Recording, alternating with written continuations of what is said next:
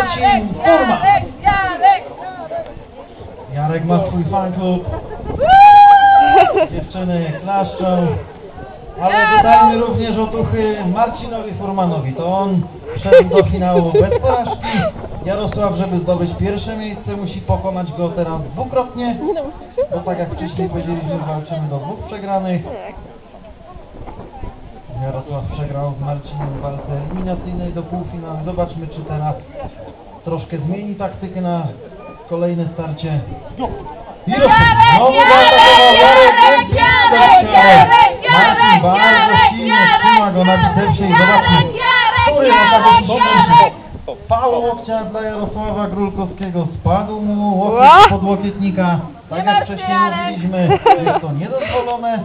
Sędzia dzisiejszych zawodów Mariusz Grochowski ukarał No, Jarosława łeb. faulem. Słuchaj, łeb.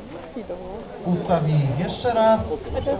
Jarosław teraz nie może sfaulować No, już no ćwiczy, no trenują normalnie, nie? bo jeżeli fauluje, Tylko, że nie drugi faul będzie równał się przegranej walce, a zarazem No, miejscu drugiemu.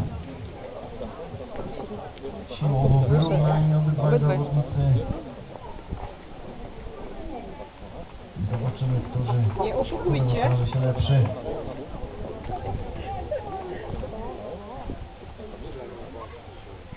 Wydaje mi się, że delikatną przewagę siłową ma Marcin. Również masa ciała jest po jego stronie, ale Jarek ostro atakuje, mocny atak, trzyma jeszcze swojego przeciwnika w centrum, trzyma. Obudźcie się, kibice! Marcin! Marcin! Marcin! Marcin! Marcin! Marcin! No! No Marcin, no! Marcin!